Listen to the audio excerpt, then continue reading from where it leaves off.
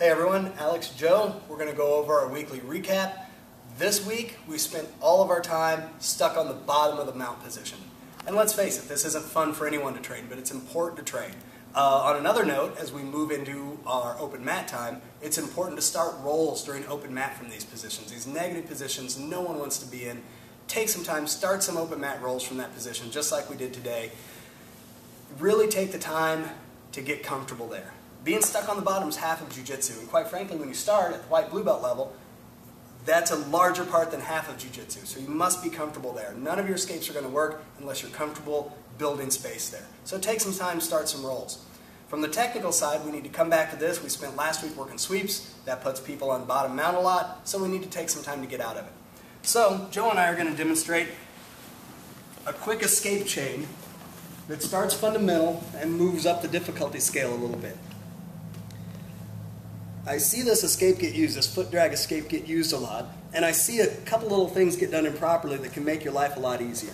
So we're going to come in, and the first thing I'm going to do is make a brace at his belt line at the hip, and make a brace with my other hand. My, uh, my forearm's down, it's elbow to my side, and my forearm will be running right down his femur. This prevents him from weighting my diaphragm and making it hard for me to breathe. From here, I need to get onto my side to hook this foot for my foot drag escape. What I see most people do is try and just turn, and this becomes very difficult and power uh, and a power move to try and turn onto my side.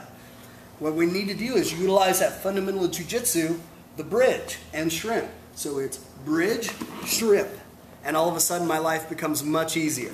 He goes ahead and drops this knee back, and I'm right here, I'm on my side. From here, I'm still maintaining position on this, I can control the knee with this forearm. I start pressuring my knee up under his foot. This leg steps over the top, hooks his foot, and now it's going to drag it right over, hence the foot drag escape. From here, my bottom foot's immediately going to hook up, and I like to triangle this to hold on to it. I'm almost in an escape position now. I'm still stuck in mount, but I've really started control of this leg. From here, I'm going to take my arms, I'm going to extend my spine, not pushing with my arms, I'm extending my spine and then putting my arms in a locked skeletal position. This is a radical difference than pushing here. Extend the back, put the hands into block. You'll notice when I put these blocking hands in and I extend the back, I get space under the knee. So, I'm bringing this knee up now, and I'm sliding underneath. These hands are just going to provide counterforce. I can push a little, but really this is the bulk of the motion. Always easier to move me than to move my partner. From here, I use my back foot to plant, and again, bridge a little, shrimp. Notice where I'm coming to. I'm setting my half guard up.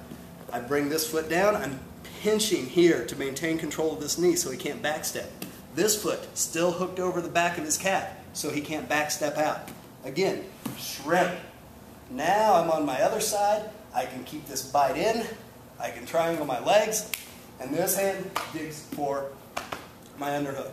And now I've set up a proper, nice, tight half guard position. So, climbing that positional ladder.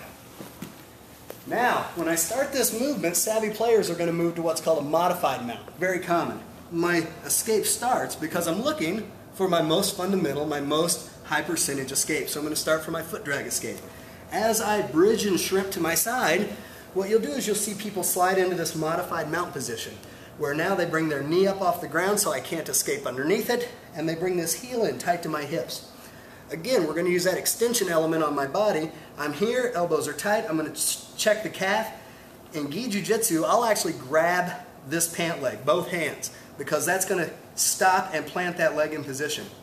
From here, I'm going to lift my hips like a bump, and then I'm going to shrimp away. And I might need to do this twice. Now as I'm here, notice I'm not pushing with my arms, I'm moving my body. Much more power in my core than my arms. Look at this space I open up. Now, the first response is people typically tend to bring this load in. This is difficult because of the structure of the foot and it limits my attack options. So from here, my bottom leg's going to come through, excuse me, my top leg comes through, slides directly under that knee, and then immediately drives up and I come into this position. From here, my bottom leg stays about heel height. I don't want to leave it on the floor because it can backstep out. I want this foot trapped. So this leg scissors up, this leg scissors down, and again I'm using that body extension to get the proper manipulation. And he goes back. There are several variations of this. This is the most fundamental. Once I'm here, I want to build connection, build connection, and now again, going back to my fundamentals. I keep this pressure with my shin. This makes it difficult. If I've got no pressure here, he's free to move his hips and start countering and do so effectively. If I pressure here, go ahead and move now, he's locked. And this lets me transition out and move into whatever guard pass I want to do. So, our foot drag escape to our modified mount escape, both fundamental elements of the guard, or excuse me, of the mount escape from the bottom. They are not fun to drill. It always sucks having someone on top of you crushing you, but they're important components, especially early in your journey, and just as important later when you're sharpening that sword and making everything better and better as you go. Um, so stay on these, practice them. Don't think about the gross motor functions of the push and the yank. Think about the bridges and the shrimps and the proper skeletal structure with the extension of the back. It's going to pay off dividends in the future when you get guys that are really good at pressure on you. All right, that's it for today. Joe and Alex, we'll catch you next week with our recap.